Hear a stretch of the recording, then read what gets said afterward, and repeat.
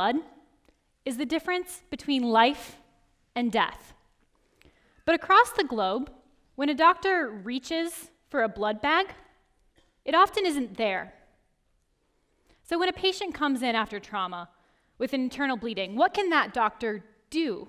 Well, there is one option, and often the only option, is actually to salvage and recycle that person's own blood through a process called autotransfusion. And this process, Johns Hopkins University has actually been showing is better than using donor blood because your own blood is better. And as donor blood sits on the shelf, it loses its ability to transport oxygen and nutrients. And also, there's a risk of disease transfer, there's a risk of rejection. And you know what? We actually do this process in the United States. But the technology we use to do so looks like this it's unsuitable in emerging markets due to high cost, training, and power requirements. So this technology is not reaching a lot of the world. But I am in awe of doctors around the globe who are using the tools that they have, not medical devices, but simple techniques to do this process. They're literally sometimes using a cup or a soup ladle to scoop blood out from internal bleeding, filter it through gauze, and retransfuse it back to that same person.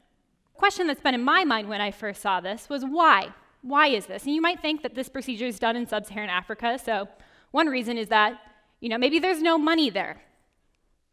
But when you dive in a little bit further, you recognize that, you know what? Each bag of donor blood, just the cost of the disease testing and the infrastructure, costs $100 per blood bag. And in the US, that's $250. So that's not it. And if you take even a step back and look at the overall system of medical devices and design, well, actually, right now, 80% of the world's medical devices are designed for 10% of the world's population. What does that mean? That means that medical devices are being designed for the Western world, but not for the rest of the world.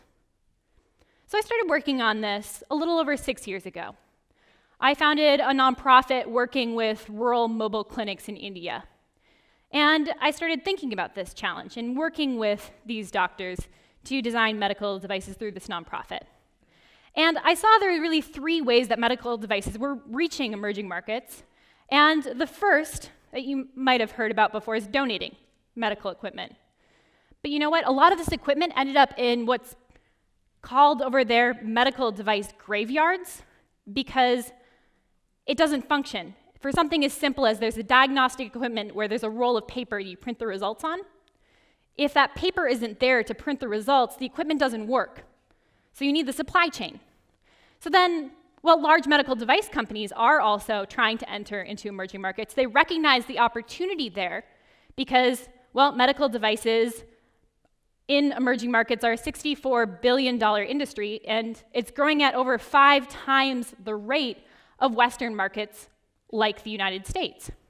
But what they're doing is they're taking Western equipment, paring off features, making it cheaper, and they think that's going to sell. And it's not working. There are these huge gaps in technology because the requirements and the needs and the way money is spent is just different.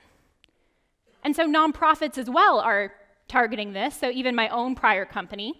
But as I found out firsthand, building and getting the capital to create an R&D regulated intensive product is really hard as a nonprofit. And if you can get through that barrier, there's also no focus on really commercializing and scaling those technologies in a way that incentivizes the entire supply chain.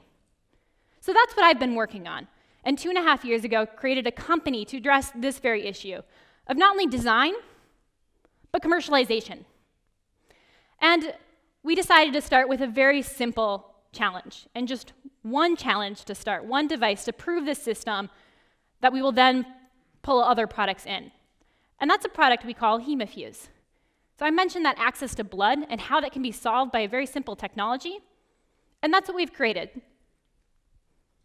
So this is the device that combines the safety standards that we see in the United States for autotransfusion with the innovation and simplicity of what's being done in emerging markets. And how it functions is simply you pull the handle up, blood is pulled in through a filter from internal bleeding, and you press the handle down, and it's transferred directly to a blood bag to be retransfused.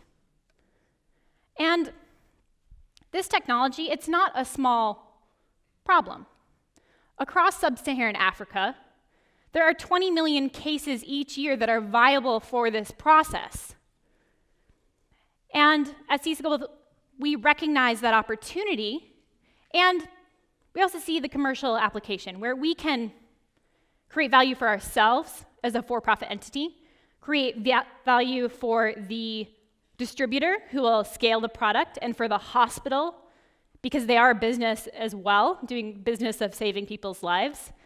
And at the very end, keeping the patient in mind and having our device equal the cost of one unit of donor blood and save them on average $100 out of pocket because our device can salvage as many pints as our pooling internally. And we're doing this right now. We have proven the technical viability of our product. We've done testing with blood, we've done usability studies across Africa, and the device is actually in use for the very first time in Ethiopia right now.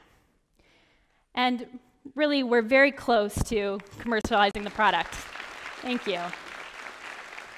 So, we see uh, something much more than this, something much more than this device, and actually a pipeline to take medical devices out into emerging markets that are designed with and for these doctors in emerging markets. And what I want to leave you with is I'm often asked why. Why me? Why this? Why now?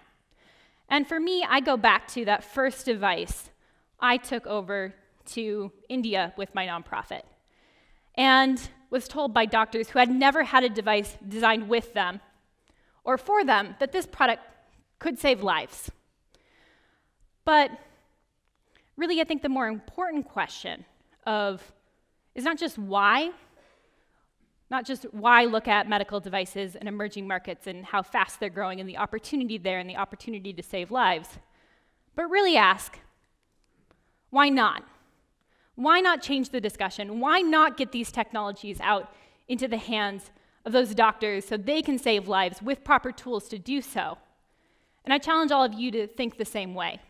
So if you hear in a sentence both medical devices and sub Saharan Africa, ask why not. Thank you.